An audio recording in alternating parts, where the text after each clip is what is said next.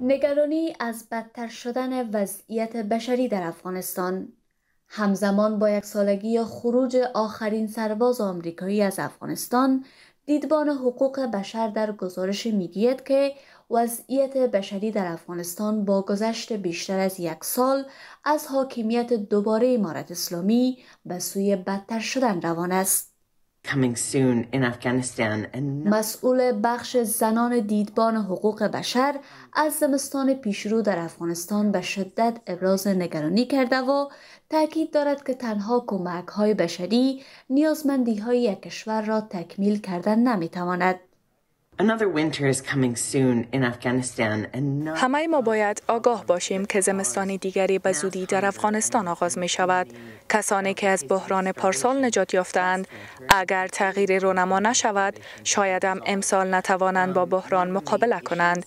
هیچ کشوری نمی تواند تنها به کمک های بشری متکی باشد. مهم هم نیست که کمک ها به کدام اندازه سخاوتمندانه است. در گزارش دیدبان حقوق بشر آمده که بیش از 90 درصد مردم افغانستان در یک سال گذشته به غذای کافی دسترسی نداشتند. به گفته این نهاد جهانی نزدیک به 20 میلیون تن از افغانها که نیم از جمعیت کشورشان را تشکیل می دهند در عدم امنیت غذایی و وضعیت اضطراری غذایی قرار دارند. کمک های بشر دوستانه فقط می‌تونه که در کوتاه مدت شکمای گرسنه مردم بسیر بکنه و از یک فاجعه احتمالی انسانی در افغانستان جلوگیری بکنه. اما این کمک ها در دراز مدت باعث ازی خواهد شد که سکتور خصوصی افغانستان زمین گیر بسازه و از طرف هم یک جامعه فعال غیر فعال فعال بسازه. و من فکر می‌کنم تا زمانی که مشکلات سیاسی حل نشه افغانستان به رسمیت شناخته نشه و تغییرات اقتصادی بالای افغانستان رفته نشه. خیلی مشکل است که ما بتونیم مشکلات اقتصادی را به شکل نقطه پایین بگذاریم.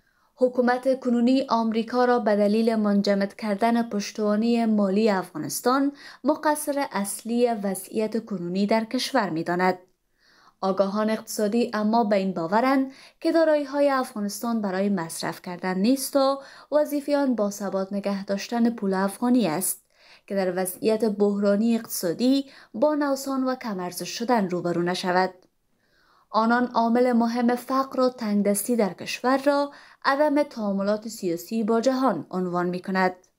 سالی که گذشت سال بدترین سال تا تاریخ اقتصادی افغانستان میشه که او حساب بکنیم و این در حقیقت به خاطر این است که تنها از بعض اقتصاد نیست که عاملین اقتصادی کار نکنه عامل اقتصادی حاضر به کار است ولی متاسفانه که تعامل سیاسی وجود نداره و در حقیقت عامل سیاسی مانع حرکت حرکت اقتصادی میشه این عاملینی که سیاسی کس مانع حرکت های اقتصادی شده و حضر به قسم رسانده که ملل متحد و سازمان خاروبار و حقوق بشر هم داد و ولاش برآمده ای است که عمدتا چی جهان چی منطقه و چی حاکمیت افغانستان اصلی در لجاجت سیاسی به سر می‌برند.